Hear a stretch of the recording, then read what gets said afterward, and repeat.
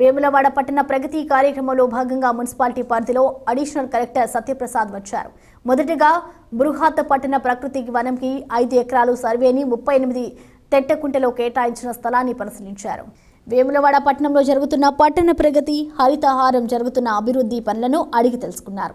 అలాగే పలు పట్టణాల్లోని వార్డులను పరిశీలించారు. ఇందులో భాగంగా ప్రతి ఇంటి నుండి తడి పొడి వేరు చేసి ఇస్తేనే స్వచ్ఛ ఆటోకి తీసుకొనబడనని తెలిపారు. జాతర గ్రౌండ్లో నిర్వహిస్తున్న ప్రైవేటు లాడ్జీలను పర్యవేక్షించి లాడ్జీల నుండి తడి పొడి చెత్తను వేరు చేసి ఇవ్వాలని అడిషనల్ కలెక్టర్ లాడ్జీ యజమానులను హెచ్చరించారు.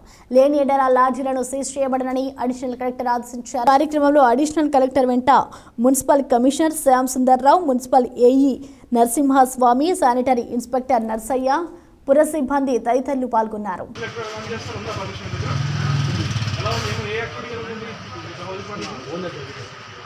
ఇది రెసిడెన్షియల్ ఏరియా కదా. కమర్షియల్ పని కదా. కమర్షియల్ యాక్టివిటీ కదా ఇది చేసేది. లాడ్జ్ అంటే ఉంటుంది రూల్స్ చూడండి ఇప్పుడు నేను ఎత్తితే సౌండ్ సపోజ్ టైంలో వాటర్ నుంచి అన్ని మేము చూస్తాం. నేను చూస్తారేమో. ఏమాత్రం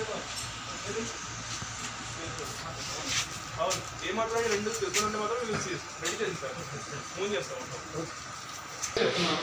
బడ్జెట్తో బడ్జెట్తో డివైడ్ అవుతున్నా వేస్తే ఆల్రెడీ పర్మిషన్ బిల్డింగ్ ఇంటి కోసం తీసుకుంటారు. దాని మీద లాస్ రన్ చేస్తున్నారు ఒకటి తప్పు. బడ్జెట్తో బడ్జెట్తో డివైడ్ చేయట్లేదు. నేను తీసుకోమన్నా కూడా చేస్తున్నారు రెండు తప్పు మాకు దా- ఆ రూల్స్ ప్రకారం ఈ దీని ప్రకారం. రెండు రూల్స్ ప్రకారం మాకు సీజ్ చేసే హక్కు క్లియర్గా ఉంది. మేము మార్నింగ్ ఇవ్వాల్సిన అవసరం లేదు ఏం చేయట్లేదు. రేపు మార్నింగ్ నుంచి సీజ్ చేస్తాం.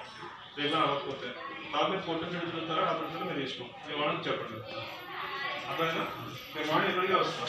ఆ డస్ట్ క్లియర్గా తీసుకున్నప్పుడే వస్తాం మేము. పొడి చెత్త వేస్తే నువ్వు తడి చెత్త లేదంటున్నావు పొడి చెత్త వేస్తే నేను చెక్ చేస్తాను పొడి చెత్త ఏమైనా తడి చెత్త ఉన్నా కూడా టేక్ ఇట్ వచ్చినంత పరిస్థితి